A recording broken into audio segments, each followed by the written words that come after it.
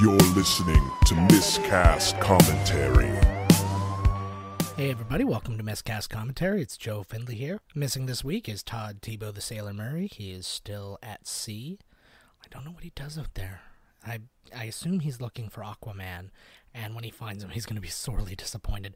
But um, yeah, we got lots to talk about this week. It's just me, so it's going to be a fairly short episode because again, I don't want to be the one guy. If I don't know, anything too long becomes a lecture when it's only one person. If it's conversation, it starts to get pretty entertaining. But I'm not here to report the news to you or anything like that. But while we're at it, let's talk about a little bit of news. I wanted to quickly talk about the box office this weekend. Justice League got uh, kind of beat up by Coco this uh, weekend, and I don't really feel bad about it. I don't know. I've never been a DC guy, always been a Marvel guy yeah, I don't know. It just did not look good to me. It did not sound good when I started hearing reviews. The only people who I've heard who said they liked the movie, and they didn't even say they liked the movie. They're just like, yeah, it's uh, entertaining. Is were like super DC apologists. So, oh well, too bad. Uh, Pixar rules again. So right now, uh, you know, DC is surrounded by Disney, Pixar on one side, Marvel down beneath it right now, with Wonder, of all things, sitting in there as well. Like, holy crap, nobody saw that coming. Whatever. I, I still don't know what it's about. It's a book or something like that. Whatever. Don't care. Um, speaking of all the DC and MCU and all that stuff, uh, Carrie, my wife, my beautiful wife, has been off for the last couple of weeks. She had uh, surgery done and she'd been looking for something to actually watch. So uh, she had never actually seen any of the movies from the MCU. So I basically lined them all up for her, and she's been watching them. Uh, so good news, anybody out there who uh, works for the MCU. I brought somebody else into the fold, and yeah, she's enjoying them. We've got her up to Civil War. She had already seen Spider Man, so I think really all I need to get her caught up now is Doctor Strange and Thor Ragnarok. So both good entries, so that should be good. And I think I might have a date for Black Panther. Got a lot of cool stuff coming up for you in the next little while. Uh, we've got a movie set up for next week, and that's going to have Todd hosting. We recorded it before he left back out for sea. And then after that, we have a couple of openings. So we've got some guests coming up for our uh, December 22nd episode. We will have my daughter, Abby, is coming back. Uh, she did an episode with me last year around Christmas time. So she's coming back, and we're going to be watching something. We'll announce that at a later date. But uh, yeah, it should be a lot of fun, and it's something that she likes an awful lot, and it's got some wide appeal. So I don't know. Hopefully, uh, her head isn't too big from the last time, and we can all look forward to that. So that will be a much more safe for work edition, obviously. Um, don't make too many dick jokes around my daughter, as you can imagine. So that should be pretty good. And then our Christmas episode, we always do the Christmas bonus episode. That was going to be Todd and I and he ended up leaving while I was sick, so we ended up not being able to record it. So I am going to record it with my lovely wife Carrie. And while I'm not going to say what movie that is either, I can tell you that it is a Christmas movie, or it counts as a Christmas movie if you're gonna be all shitty about it. So people argue that it's not a Christmas movie. I say it is a Christmas movie, and last I checked, I have a podcast, so I'm right. It's a great podcast. Listen to it, people. Get your friends. I'm looking longingly out the window right now, hoping you're looking back at me. And then I wonder, why do we live so close to each other? And why are you naked? And why am I not naked? Let's do this. So, enough of that, though.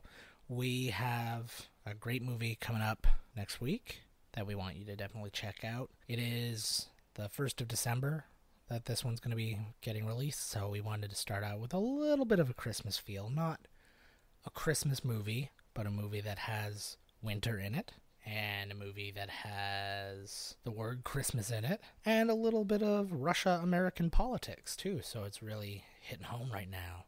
Um, what else does it have? It has some beards in it, so that's pretty good. I will tell you, though, I'm talking about winter and December and all this stuff, and it was double digit now okay, we have mostly American listeners. It was 18 degrees Celsius today in my hometown of St. Catharines. So yeah, it was 64 degrees Fahrenheit today in uh, St. Catharines. both times I said, uh, St. Catharines, like I'm not entirely sure where I live. I'm starting to feel like I might be a, uh, a witness protection guy or something like that. I've, I'm still not used to saying my new name or my new, or my city or anything like that. So trust me, I've, I've been from here.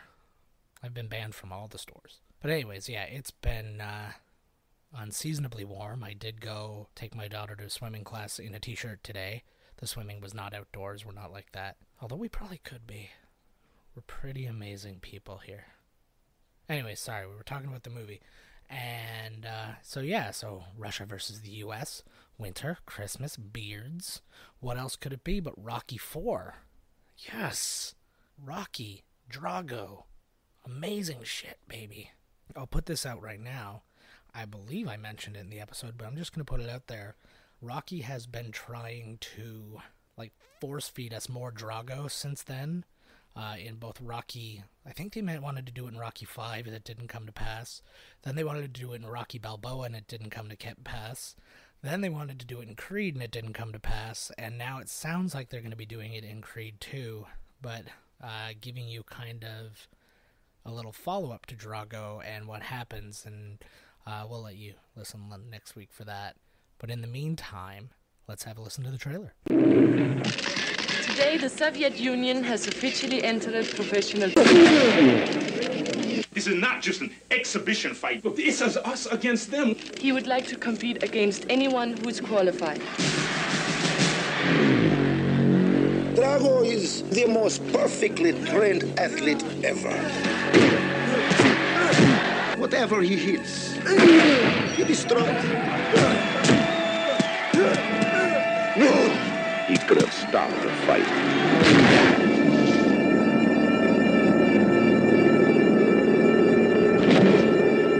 He could have saved his best friend's life. I'll never forget you, Apollo. But now, the one thing he can't do is walk away. Has the fight date been set yet?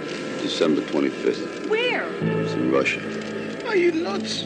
Miss Balboa, when will you be going to Russia? I'm not going to Russia. I don't know what you're talking about. He's had one professional fight, and one man is dead. Tabibi, he's going to have to kill me. Why can't you change your thinking? Because I'm a fighter. You can't win!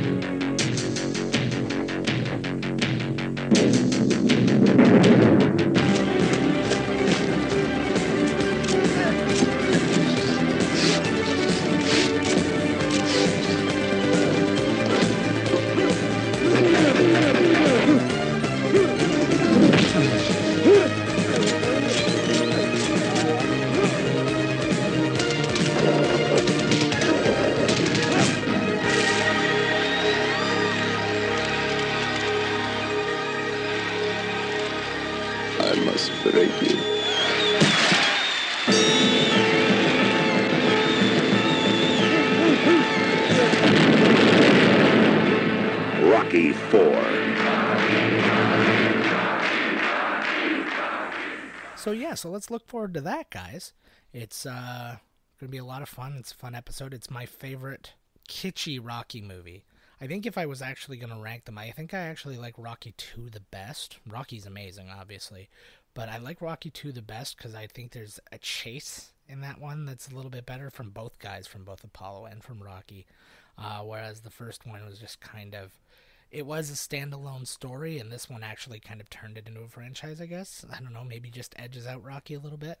But Rocky 4 is the one I like to watch all the time when it's on. It's just, I don't know, it's one of those crazy fun ones. Amazing 80s soundtrack. So, if you haven't seen it, go out and see it. You should have seen it already, though. Let's not be stupid. And, uh, yeah, definitely find it. Listen along with us lots of cool people. We got a Carl Weathers crossover. We just had uh, Predator last week, so now you get him again this week. You will not get him in the one following that. As far as I know, I don't recall that he's in it. I don't think he is. But yeah, just a little bit more weird news.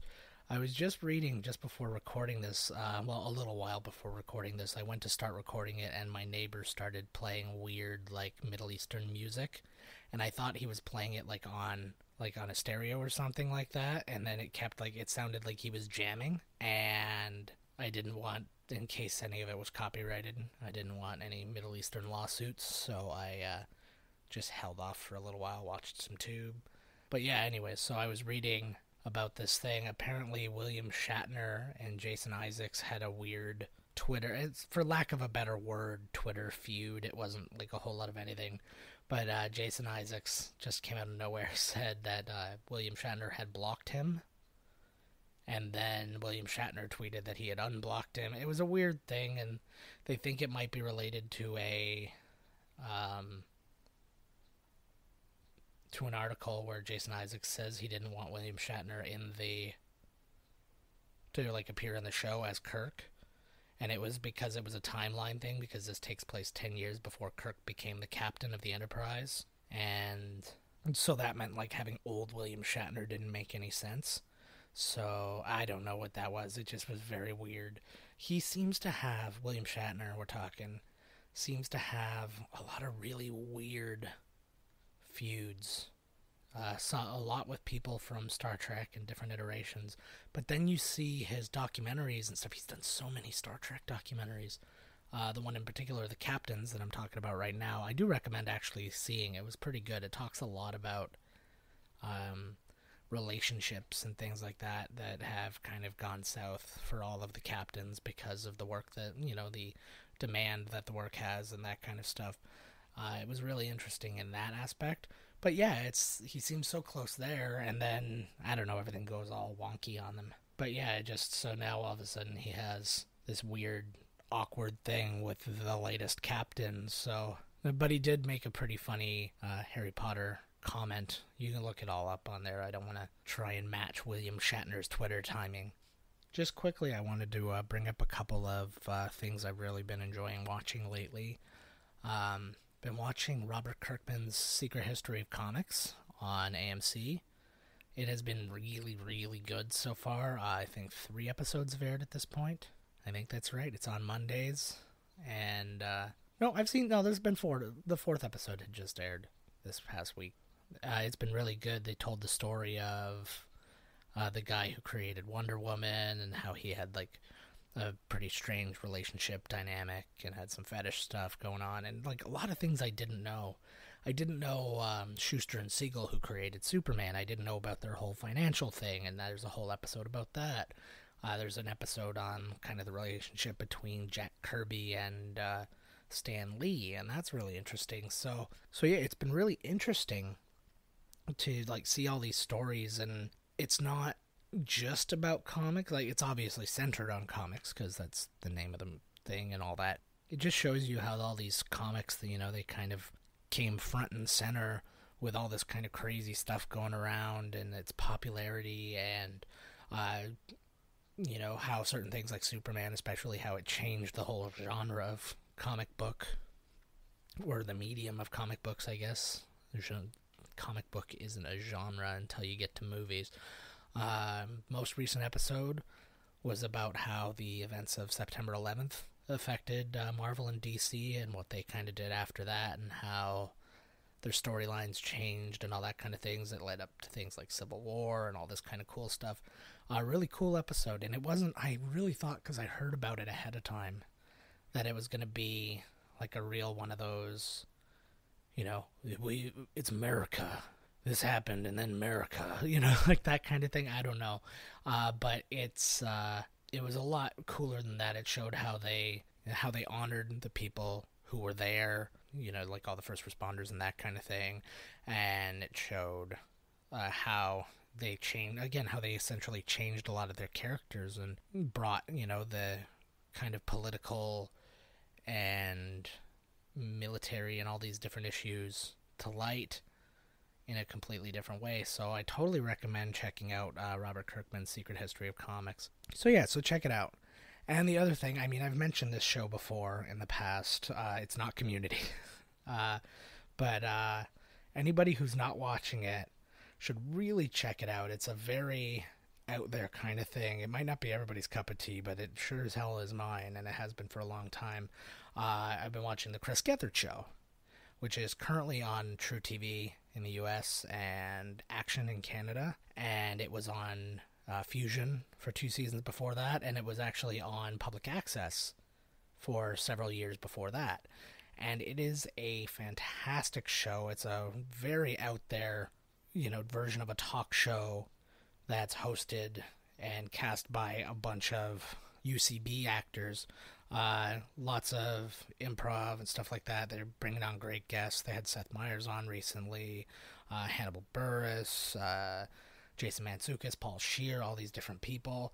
Uh, actually, speaking of those two guys who are actually going to be hosting their last episode of the year, they hosted the, or they didn't host, sorry, they guested on the second last episode of the previous season on Fusion, which uh, that's definitely like a good starting off point if anybody wants to see it. It's one of the funniest hours in television. So it's Jason Mantzoukas and Paul Scheer guesting on the show with Chris Gethard, and it's just literally it's called One Man's Trash. You can find the whole episode on YouTube. Uh, everything from both fusion seasons and all of the uh, public access stuff is all available on YouTube in full. So you can definitely check those out. But this one episode, yeah, it's called One Man's Trash, and it's literally everybody just trying to guess what's in a dumpster. And it is, it sounds like ugh, right? But it is so funny when you hear the premises of some of the shows. You're just like, what the hell are they going to do with that? And then they just knock it out of the park. They had an episode in the first season on Fusion where it was just for dogs. So the entire audience was made up of dogs and everything was built towards dogs. It was a lot of fun. Uh, Jason Sudeikis was the guest on that one. Uh, I'm just trying to think of some others. They did uh, 18th century American gladiators on the public access version. Uh, they do something every now and again called the uh, crowdsourced character contest which is always hilarious. Uh, people just give the name of a character, they email in the name, and then they hire an improviser and they work out what the character is going to be and they create those characters. And some of them have just been out of this world. Uh, there's three of those episodes from the public access days. It's so wildly creative. They're not afraid to fail. Their pocket is kind of if this is a disaster, we'll make something cool out of it type thing but it's a really really funny show and i do recommend that everybody at least check it out. And like i said go check out that uh, one man's trash. It's a really good kind of overall idea of what their show is like not just in the current hey we're on cable days but in the public access days too. They just didn't have money then. But it was the same energy and passion and the ideas and all that good stuff. And anybody who does like the Chris Gethard show, uh, the uh, most recent episode of How Did This Get Made? Well, as of this recording, so. But yeah, anyways, the most recent episode of How Did This Get Made uh, was guested by Chris Gethard. So you hear them talk about it a little bit as well. Uh, they do the movie The Jazz Singer it's a really funny episode. I feel really weird plucking a podcast that is a billion times more popular than this one on the show, but hey, this is what we do and I this is the kind of stuff I listen to when I'm when I'm not doing this. So, yeah, go out and enjoy it. Yeah, there's a lot of connections to those things in my life. I find I see them everywhere, or some connection. Like June Diane Raphael, who's one of the hosts of uh, How Did This Get Made, was just on Curb Your Enthusiasm, and I was watching that, and it's just it keeps going and going and going. Um, and speaking of Mantzoukas and Scheer and how did this get made, the movie The Disaster Artist is coming out this weekend, and I'm very excited about it. Uh, anybody who doesn't know about this movie, it's a, it's about the uh, the making of the movie The Room, which is you know one of the best bad movies of all time. Uh, how did this get made? I won't say made it famous because it was already quite a you know quite a cult thing beforehand. But they did an episode on that, and they had one of the cast members who actually wrote a book about the entire experience making the movie, and which got optioned by James Franco, who now plays Tommy Wiseau, who is the uh, director, writer, producer, star of The Room. And so yeah, so this movie's coming out. It looks really funny. It looks really crazy. Um, Jason Mantzoukas and Paul Scheer are actually in it, as are a lot of people. But uh, yeah, I think that that show got a lot of appreciation for uh, the extra attention it gave to uh, to the movie or the or or at least to the book. But it's a lot. I think it's going to be a lot of fun. It's going to be uh, something worth checking out. It got rave reviews during its uh, tours around the around the film festivals and whatnot. I think it was Sundance where it started but it was at the Toronto International Film Festival and all that, and it's uh, been really well received. I have one friend who saw it at, at the uh, Toronto Festival and said it was amazing, so I'm really looking forward to checking it out. I don't have much else for you guys. Gonna be honest, this is longer than I expected it was gonna be. It's uh, time to go, I think. Uh, make sure to tune in next week. Check out Rocky 4. Really funny one. Uh, as always, we do encourage you to try and find the movie. Uh, usually, you can find them on Netflix or on one of the friggin' streaming things has them.